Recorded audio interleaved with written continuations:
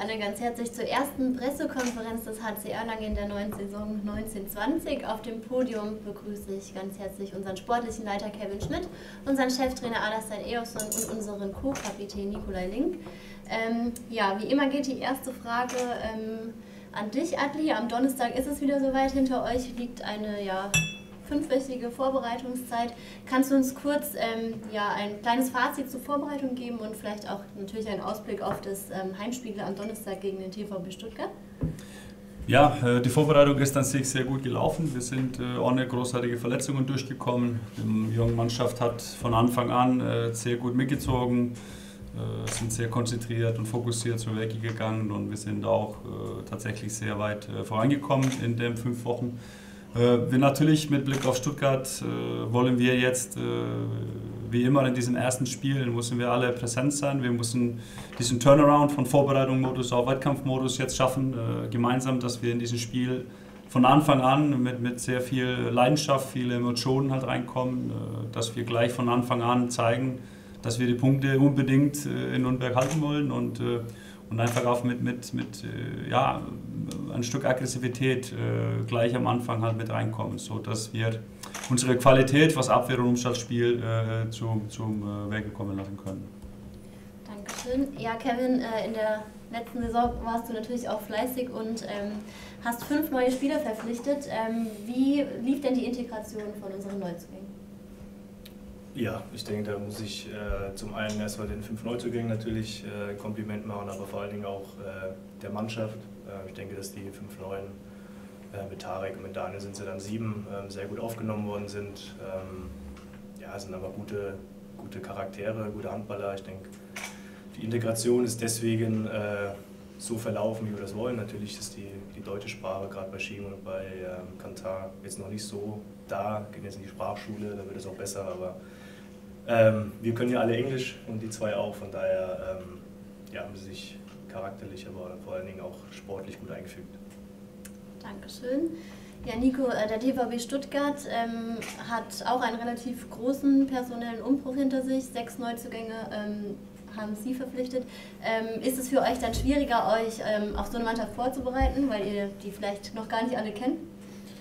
Ähm, ja, also ist tatsächlich so, dass viele neue Gesichter sind. Wir schauen ja zum Glück äh, ab und an Video und äh, werden deswegen da gut vorbereitet. Ähm, nee, also das ist tatsächlich jetzt wertvoll, weil da gerade auf den Rückraumpositionen, auf Mitte und halb links haben sie drei neue Spieler, die man auch aus der Bundesliga nicht kennt. Ähm, deswegen ist es schon gefährlich. Ähm, dazu dann noch mit Hefner und Weiß, so die bisschen mehr eingespielte Rückraum. Also wir wissen schon, ähm, dass da harte Arbeit auf uns zukommt und dass es tatsächlich auch spannend wird, weil eben da viele neue Gesichter auftauchen werden bei Stuttgart.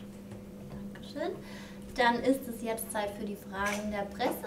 Das Mikrofon liegt hinter euch.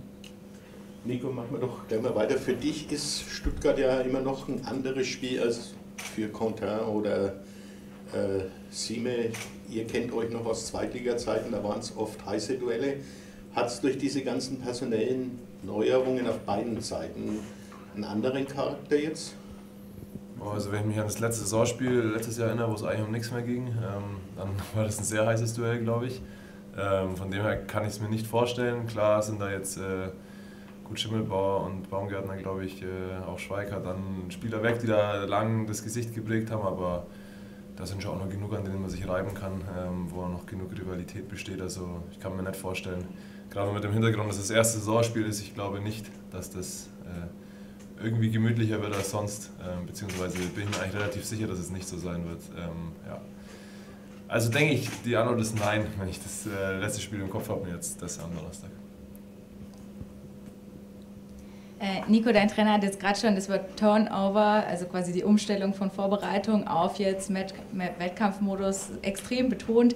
Äh, wie schwierig ist es denn eigentlich? Erzählt ihr uns ja immer, dass ihr jetzt alle super heiß seid, äh, anzufangen. Also ist es wirklich so schwierig, jetzt umzustellen? Ja, wir haben das Wort auch schon ein paar Mal gehört jetzt die letzten Tage im Training. Ähm, deswegen ist es anscheinend ähm, nicht so leicht. Nee.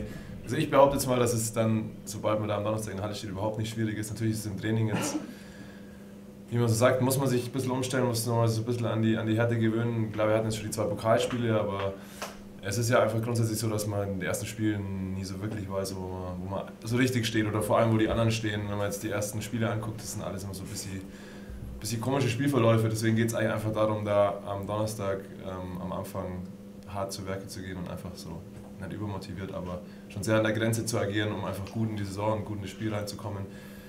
Ich glaube und hoffe, dass wir, dass wir, dass dem sich alle schon bewusst sind und dass wir das am Donnerstag gut hinbekommen, aber es ist auch bei uns ein Thema auf jeden Fall die letzten Tage. Ja.